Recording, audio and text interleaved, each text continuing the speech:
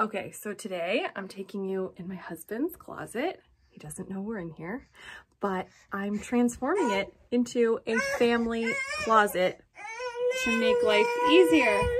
What? Okay, hold. You ready? Yeah. But we're gonna take this little corner over here that is totally underutilized and we're going to make it a spot for all of the kids' seasonal clothes for the season we're in.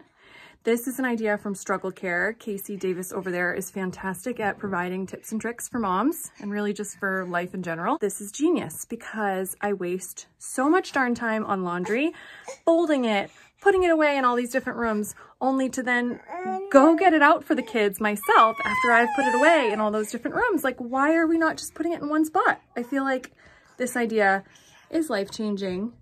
Yep, and so we're gonna try it and um, set it up today and let you know how it goes. So this is the space. There's also a little cabinet here. This is where I'm going to put the kids' clothes. They're each gonna get a shelf and then pajamas are going to go in this drawer, just thrown in.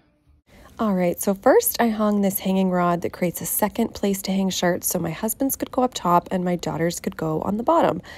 Then in terms of this cabinet, I put my daughter on the first shelf and my son on the second, and the bottom is for pajamas, as I mentioned.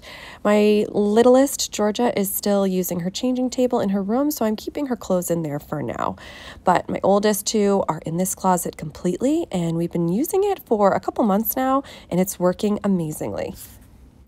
Putting away laundry has taken up so much less of my time. I can sit in here right on the floor and get everybody's put away so easily. When it comes time to get everyone dressed in the morning, I go to this one spot to get it all, and our mornings are super streamlined. If you enjoyed this tip, like, subscribe, and find me over at Mom Easier on Instagram for more mom hacks. Thanks for joining me.